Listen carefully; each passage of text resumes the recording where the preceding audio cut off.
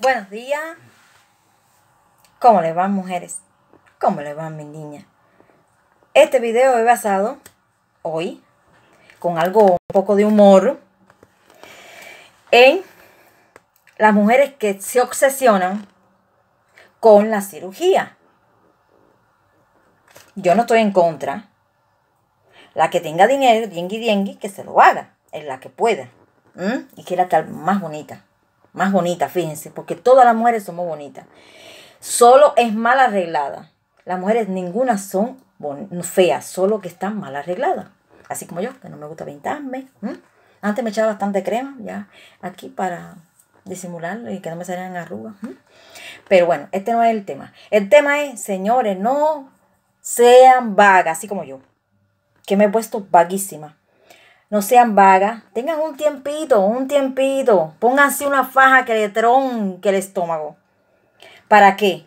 Para que hagan su cintura, reduzcan su estómago y no le dé por ampliar la barriga cuando empiecen a comer por ansiedad. La ansiedad, el estrés, da por fumar y por comer mucho. ¿Ok?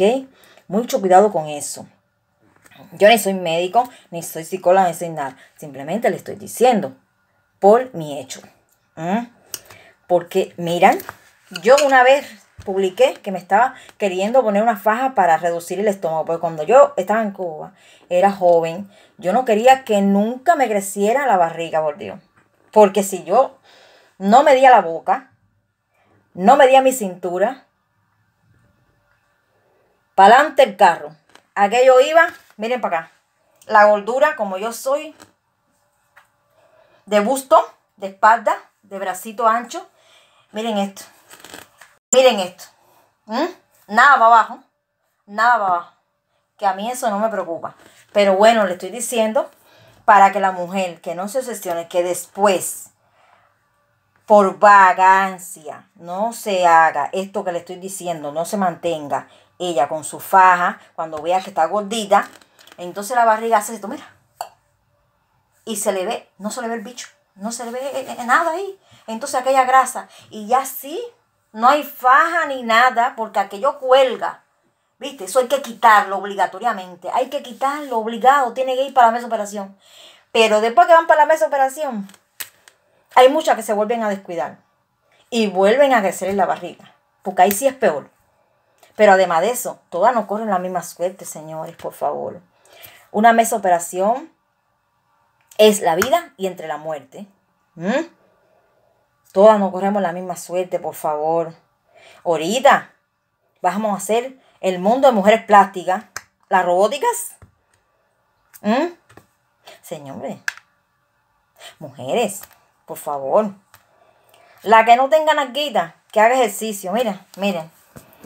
Tú esos ejercicios, que, eso, esas publicaciones y esos sitios de, de gimnasio, que eso, eso no es mentira. Eso no es mentira. Lo que tienes que hacerlo en tu tiempo, en el tiempo libre que tengas, un ratico. Miren, yo he visto que mujeres, no mentira, es así. Cuclilla, cuclilla, cuclilla, cuclilla. Dos veces al día un ratiquito. O por la mañana cuando te levantes, te da un baño después.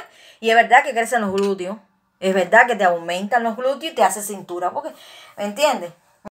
Y entonces, es paca, pácata, pácata, pácata, pácata, pácata, pácata, pácata, pácata. Entonces empieza a cuclilla, cuclilla. Yo, yo no puedo, porque la vagancia fue tan grande que aumentó. ¿Mm? Ese es otro tema. La vagancia y eh, la, la vida sedentaria aumenta todo tipo de cosas. Enfermedades, grasa en el cuerpo, te da ansiedad. Yo que padezco osteoporosis, aquello, aquello está en todo el cuerpo. Yo hago esto, es que busco una grúa gato. Yo no sé si otro nombre tendrá. Yo conozco la grúa gato de cuando Cuba. Para levantarme. Entonces, mujeres, piensen bien, piensen bien que ah, en los años 59 revisen, revisen, revisen. No miren nada más Facebook lo que no tienen que hacer, revisen, en los años 59, 40 y pico, 60, las mujeres tenían la cinturita así. Eso de cirugía, eso no existía. Lo que había eran corceles.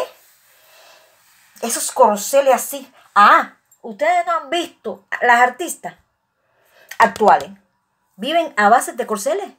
Corceles que le trinca. Es una cosa así. Bueno, en este caso yo tengo que adaptarme porque ya yo estoy ya gigantesca. ¿Viste? Entonces es un mensaje con mucho amor y cariño, con un chiste, con algo gracioso, pero es la verdad.